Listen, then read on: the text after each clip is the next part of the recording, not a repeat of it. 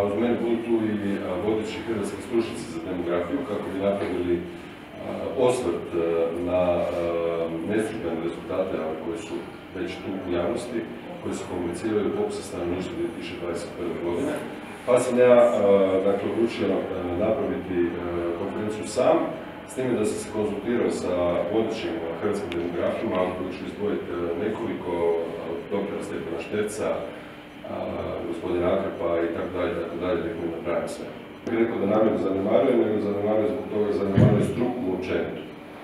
Dakle, sam popis je napravljen metodološki vrlo zastarjelo, dakle, sama metodologija popisa je na razini one iz metodologije iz Austro-Ugrske, dakle, da se ne lažemo.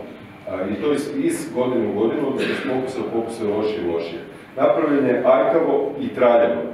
I ja ću biti prvi koji će reći javno to, jer još nisam čuo da je neko drugi rekao, brojke su zapravo ipak veće od tih 3 milijuna i 800 koliko je već točno popisano.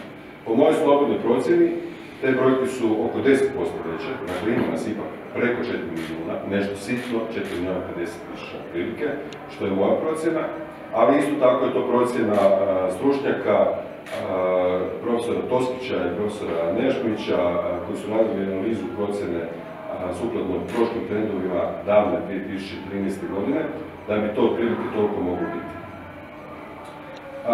Razlozi zbog čega je brojka manja, službeno, neslužbeno kako hoćete, ali koja se komunicira, a zapravo ipak veća, su mnogobrojni, a na prvom mjestu su svakako situacija oko ove COVID pandemije, dakle, gdje se popisivači, od kojih najveći dio, velika većina, nije dovoljno educiran da bi izradili popis stanovništva, pogotovo ne po toj zastarjeloj metodologiji.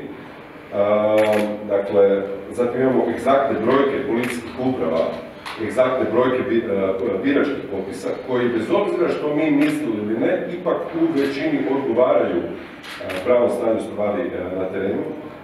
Broj osiguranika javne zdravstvene zaštite, recimo, koji nadmašuju te brojeve, tako da ja sam evo uvjeren, a mislim da će se struka složiti da su te brojke veće.